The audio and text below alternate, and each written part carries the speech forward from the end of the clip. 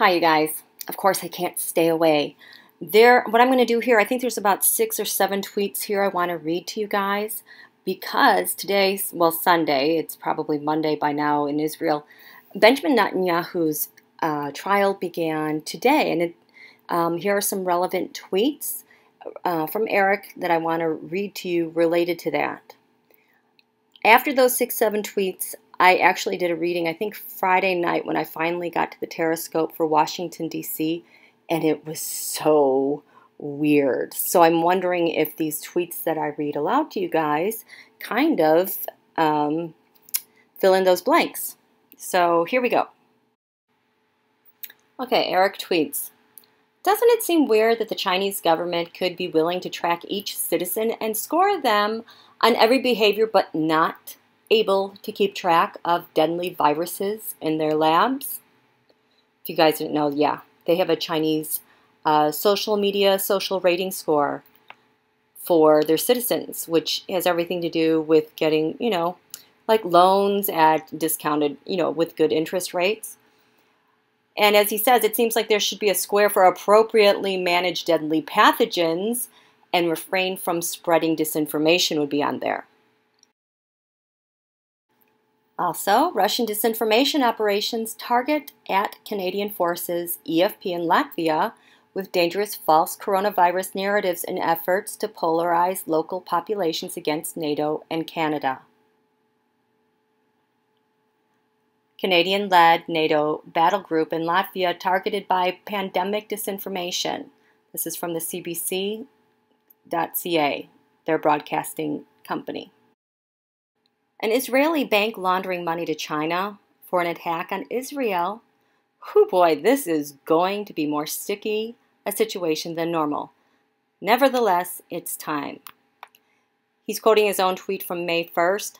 I want to tell you that this bank, H A P O A L I M, um, that's involved with Mnuchin. Mnuchin, I think, has been under investigation with his ties to that bank and even perhaps being in the White House or in the Oval Office with a member of that bank or on behalf of that bank talking to Donald. I could be wrong, but pay attention to this bank.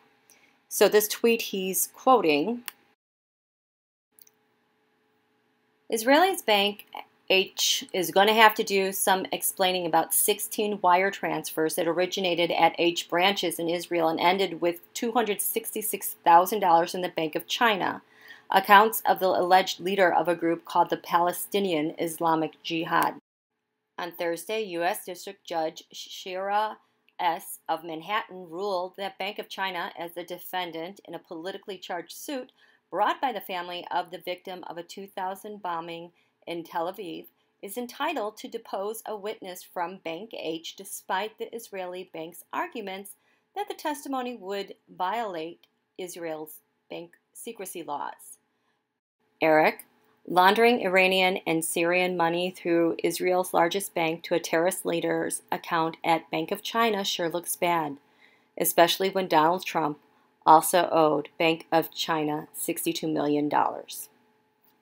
That came out a few weeks ago and it just didn't gain any traction, but here we go. Eric, it sure looks like the world has been waiting for Benjamin Netanyahu to go on trial before other heads of state could go into the barrel. Strap in. He quotes Jay Coleman. The former Prime Minister of Papua New Guinea has been arrested and taken in for questioning over alleged misappropriation and corruption involving the purchase of two generators from Israel. From Zev Shalev. Israel is, of course, a pluralistic democracy, which is why the quote from the then leader of the left leaning Labor Party leader Isaac Herzog was so jarring. As Eric Garland points out on podcast, of course other Israeli politicians knew. Election Eve warning to Netanyahu. Recently, there have again been reports of Israeli leaders interfering in the elections through overseas proxies. I call on Netanyahu to instruct those close to him to make sure no damage is done. Isaac Herzog on November 20, 2016. Eric, Mueller wanted to know if Trump's campaign was infiltrated by an Israeli agent. Kushner and Flynn's first order of business was changing a UN vote on Israel. Time to discuss the elephant in the room. Now, having read those tweets, look at this tarotscope. It's like it's frozen. It's so bizarre. See, I tell you guys I'm taking a break, and of course, what happens? The camera's rolling. God help me. But I love you guys anyway. I did the Tarotscope for the new moon today for my ZQT peeps, for all of us. It was, you know, oftentimes I do these Tarotscopes, you guys, and the different parts, the 12 parts, they talk to each other. There's interactions.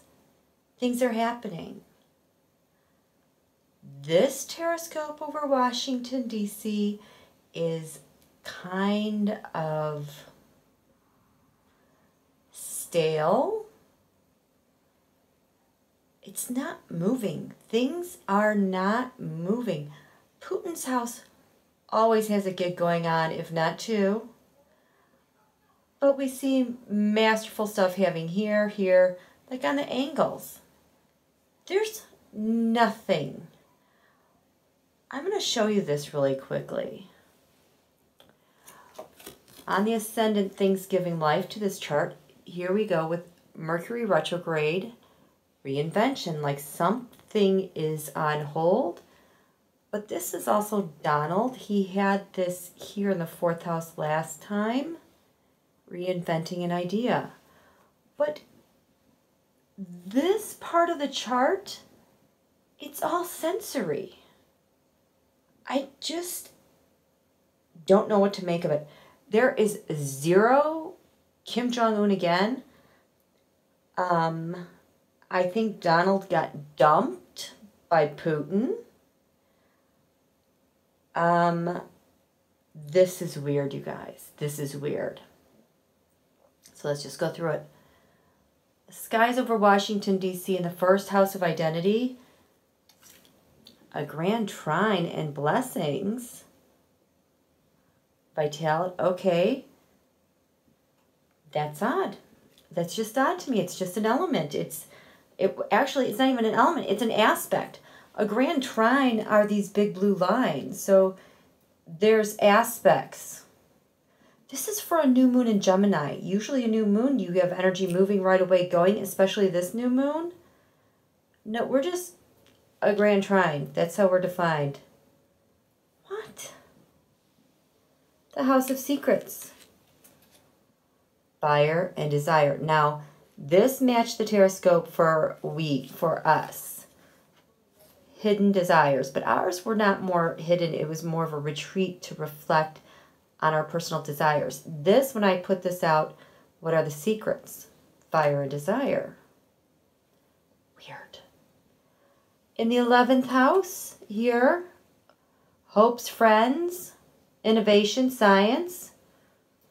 Um, usually I would see like MBS, kind of the intermer- intermediate, like between Russia and North Korea, um, helping out with stuff.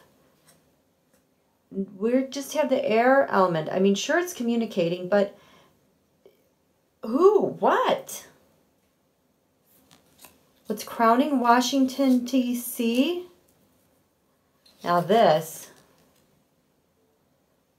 the Grand Cross provoc- provoker. This is Donald. He recently had this down here, I think last week, being provoked. So he's provoking a lot of stuff in Washington, D.C., and nobody's reacting. In the ninth house, Putin's house, lands far away. We just have some water. We're sensing. Okay. I've never seen this house just doing nothing. I don't want to say that these things are not anything because we can't have a horoscope, tarotscope without the elements. But I'm used to a very dynamic chart in Washington, D.C. I mean, maybe it's Labor Day weekend and nobody's here, and that's why. This is interesting. This area is shared resources, what you and I have, life and death, transformation, taxes, other people's money. things that are taboo, investigators, espionage. Um, this is the eighth house, endings and beginnings. Reversed, um, our shared resources are having a problem starting and finish. It's like a dud. Things have ground to a halt. This is the new moon with Mercury clipping away at Mercury pace, speed. This area partnerships, marriage, you know, uh, business partnerships, friendships. The 11th house of friends. Okay, so we go to this 11th house here. We have air. I, it's like ghost town. This area has to do with public servants, investigations, our military. Um, sixth house routine. It belongs here. Nothing is happening.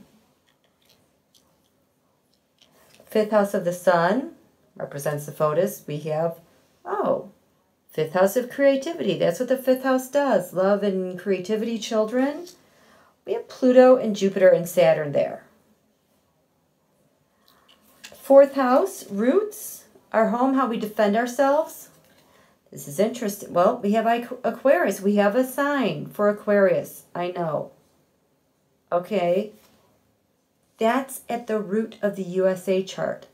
The only thing I can think of is the moon in Aquarius is we the people. We're represented by Aquarius. The sign of Aquarius is over here. It rules this. What is going on? I never draw these cards. The third house of communications. This is the real estate that Gemini owns. Pluto, transformation. So these are the comms. These are how we reason and talk with one another, documents, electronic transmissions, contracts. Pluto, transformation. This is in the fifth house of the sun, Pluto. Uh, so maybe changing communications? I don't understand what's going on. The second house, income gains values. We have Libra there. We have the fourth house, roots. This is the only dynamic card out of all of these. This is the only one that's going to have an arrow going to here income gains going to the fourth house of U.S. defenses, Aquarius, we the people. I mean, what is going on in DC? I will write these down and throw the tarot cards for this, but this is like came to a standstill. I did not expect this at all.